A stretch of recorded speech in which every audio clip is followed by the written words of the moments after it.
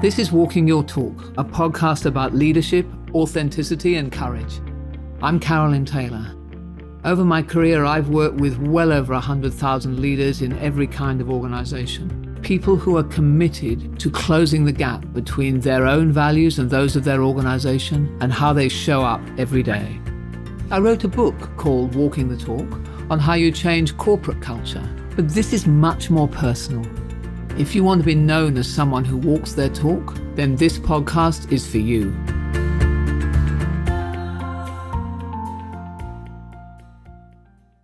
Be decisive, be simple. Procrastinate, add complexity.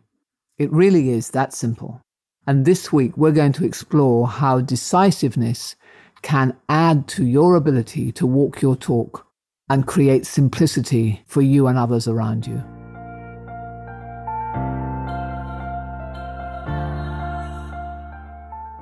Your ability to walk your talk on simplicity is going to be very tied up with your willingness to make decisions. And in this third in the series of episodes that we have related to simplicity, I want to explore decisiveness as a key driver. Last week we explored perfectionism and how, in order to reduce complexity, create more simplicity, you need to learn how to be more willing to accept fit for purpose and not have everything perfect. This week, I want to explore my experience in watching how when individuals and teams are unwilling just to make a decision, it creates incredible waves of complexity throughout the whole organization, which are most obvious actually when you hear people talk about meetings. Everybody says, Oh, there's too many meetings. I keep having to go to all these meetings. And when you look underneath it, what you're really saying, what everyone is saying is, We're having these meetings, but we don't seem to be getting anywhere in those meetings. What is the purpose of these meetings? And looking again, one of the key purposes of the meeting seems to be to alleviate the reluctance of the meeting leader or sometimes of the whole team to actually make a decision. I think there's a lot of fear around that. I see that there is a reluctance to put my hand up and say, with the incomplete information that I have here, I am making this call. I am making this judgment call, which says that we are going to adopt this proposal. We are going to select this set of consultants. We are going to approve this particular advertisement. We are going to spend money here and not spend money there. And that, of course, is a bit scary because maybe I'll make the wrong judgment call. So, by delaying and delaying and delaying my willingness to make that decision, what I will tend to do is I will do one of two or three things. One is I will get more people involved. So, I will, you know, in the name of consensus, which is important, but I think is overused. I will bring in more and more people into a meeting to sort of dissolve the individual accountability that relates to my being the one who makes the final decision, who makes that judgment call. And a second thing that will often happen is that I will look for more and more evidence, more and more information. I will ask for more reports, more detail. And of course, the more that I ask for that, the more it generates in the organization. And any leader that I see, you know, they just make, oh, you know, it'd be interesting to find out about this and whether or not this data supports that. Suddenly you've got three weeks of work going on all around you. So while some complexity is generated by process, a lot of complexity is generated simply by this unwillingness to make a decision.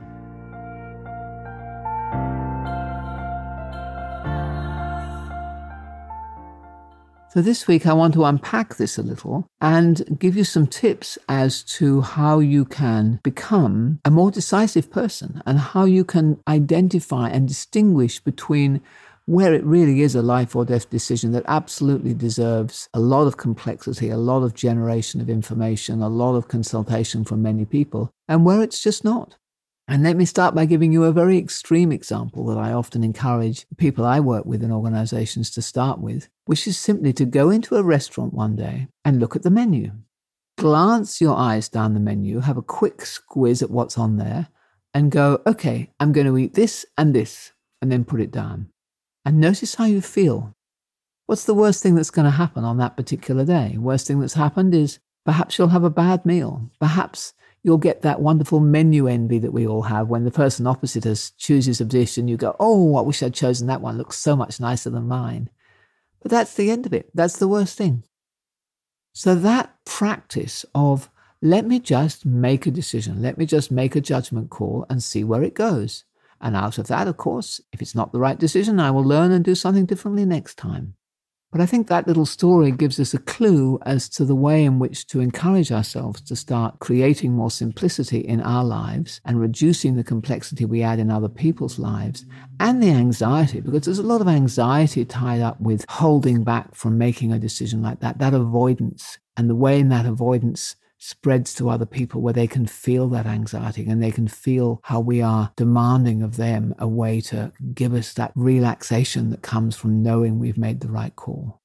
But the reality is, it is our willingness to make the decisions without complete information that is what we're being paid to do. That's the difference between someone who's good and someone who's less good. A willingness to make a call and live with the consequences, and then, of course, be able to correct very quickly if it's not the right call. So, first thing to look at in relation to how we make things simple is what is the worst thing that's going to happen here if we make this decision rather than that one?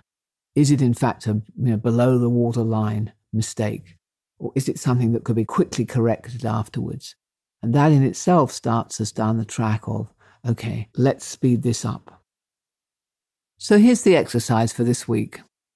Take a very good look at the decisions that are on your plate and ask if you have a team, ask your team, what are the items where we are probably procrastinating, where we're going round in circle? What are the th- decisions you would like me or us to make? And then look at what is the worst thing that could happen if we make a decision here and it turns out not to be the right one?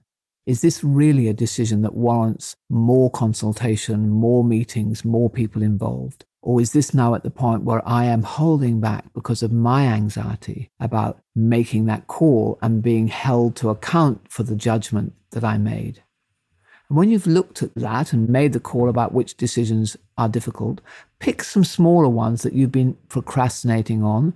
And a little bit like looking down the menu in the restaurant, just call it. Just do it.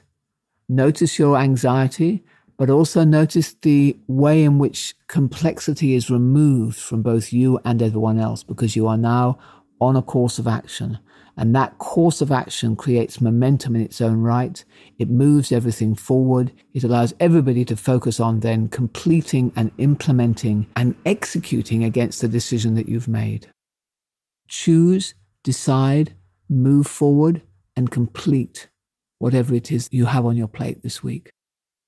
And next week, join me again when we will look at the third of the three major human issues that I have experienced create simplicity and in their absence create complexity. And next week, we will look at piling on the tendency to add and add and add, and how being willing to say no and stop things actually creates more simplicity. So please join me then where we will explore further what walking the talk on simplicity really means.